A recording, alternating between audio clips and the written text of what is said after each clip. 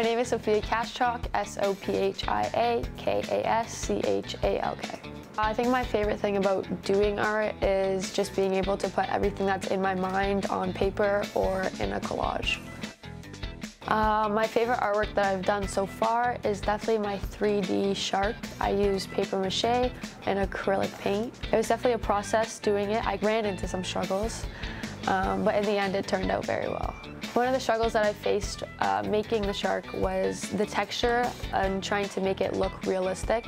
But I also, um, one of the positive aspects that I did was I made it different colors. I used purple and green instead of your normal colors of the shark, which actually turned out very well.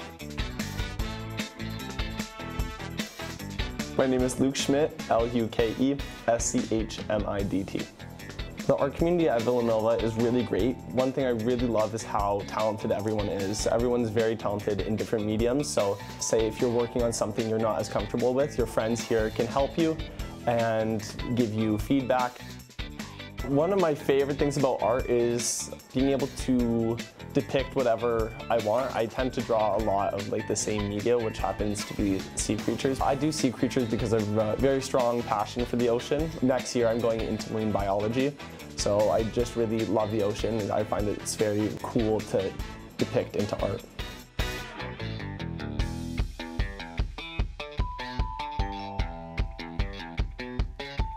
Uh, my name is Ava Dosant, A-V-A-D-O-S-A-N-T.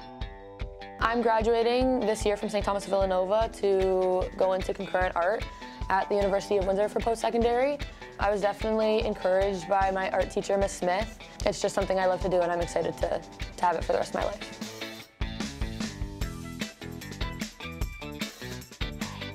Uh, one of my favorite artworks that I did is called Flow. Uh, I used acrylic, it's acrylic on canvas, it's a black and white painting. Uh, I just really enjoyed it because it was like an intuitive piece. So it was just something I just put the paintbrush to the canvas and just hoped that it would look good in the end.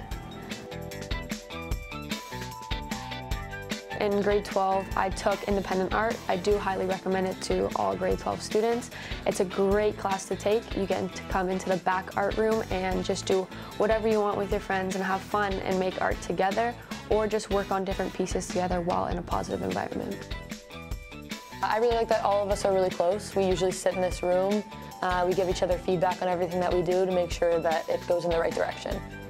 And everyone definitely sticks together and helps each other through each artwork that we do.